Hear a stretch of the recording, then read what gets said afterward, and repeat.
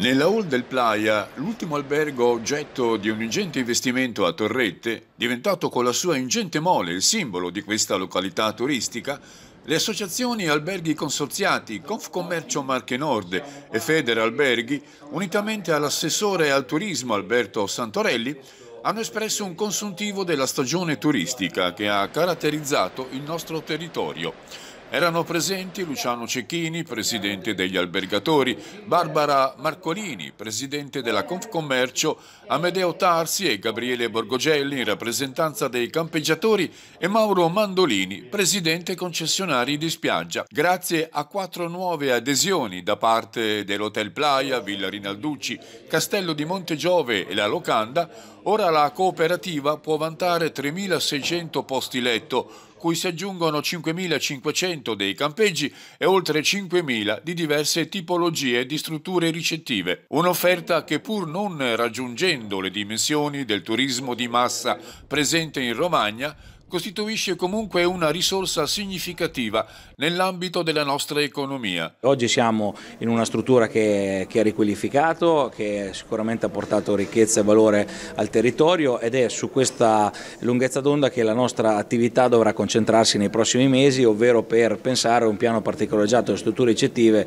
che possa infrastrutturalmente dare eh, profondità all'azione eh, turistica di tutto, di tutto, il sistema. Eh, abbiamo sicuramente meno strutture strutture ricettive della, della, città di Senigallia, questo è un segnale in negativo che va, eh, che va colmato, ma abbiamo sicuramente però tante aree ancora eh, con la possibilità di sviluppo sia per quanto riguarda appunto le strutture che le iniziative e quindi gli eventi da uh, dislocarsi durante tutta la stagione, con anche un'attenzione a quello che è il programma del, degli eventi che dovrà, non dovrà sovrapporsi e dovrà sicuramente essere organizzato meglio. Sicuramente noi dobbiamo innanzitutto fermare la deriva per cui se uno hotel sta, sta, chiuso per 5 anni e poi può trasformarsi in appartamenti. Questo ovviamente sarebbe la morte del turismo, quindi è una norma tecnica di attuazione anche nel piano regolatore che è da eliminare e il piano di struttura ricettiva ovviamente dovrà contemplare la possibilità di, eh, di, di aumentare i servizi, eh, di riqualificare e di aumentare i servizi all'interno della struttura ricettiva, anche di ampliare la capacità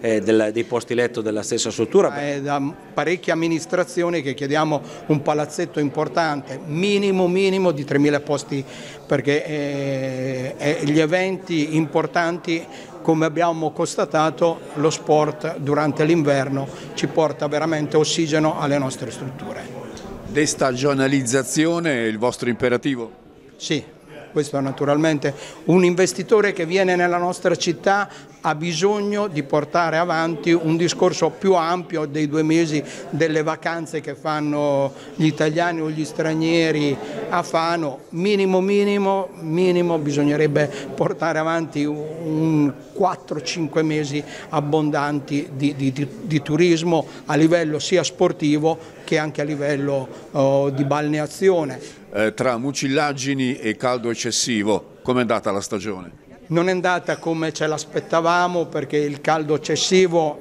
eh, abbiamo ripiegato sul eh, discorso mh, mm, della gente che eh, non ce la faceva e doveva ritornare a casa, abbiamo avuto parecchie disdette anche sul fatto anche della mucillaggine perché il caldo